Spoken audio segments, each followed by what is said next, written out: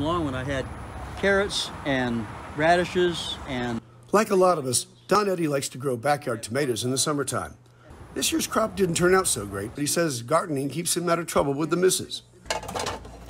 That's important because they share close quarters in their home on wheels. I built planters. And- After retirement, Don and Dee sold their house, bought one of those Rockstar tour buses, and never looked back. His folks traveled, and my folks, they both went into RVs and traveled. It, and it just sounded exciting. Their so called tour bus looks as nice as most homes inside and has as much living space as a small apartment. We spent almost two years just visiting her relatives and mine, which are scattered from New York State, Vermont. Vermont, Texas, Oklahoma, Arkansas, Indiana. Missouri, South Dakota, Indiana. Indiana.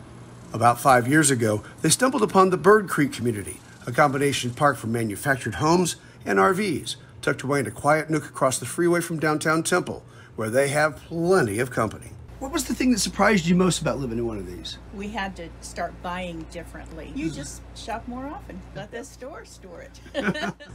So, how many of us call our home on wheels our home for real? The University of Michigan did a study, and here's what they found. They found that half a million RV owners consider their recreational vehicle their permanent residence. The Industry Trade Association, they believe the number is easily twice that.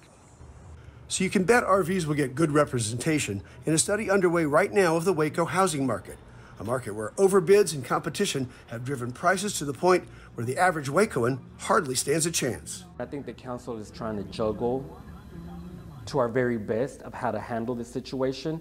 And we have a housing study coming out this fall. City leaders say hard facts and figures will help guide the council on how to move ahead. The goal is to uh, bring people back to the core of the city uh, where we have quality housing and people are not feel like they have to go to the suburbs to find that quality home, but that they can find that here in the core of our city.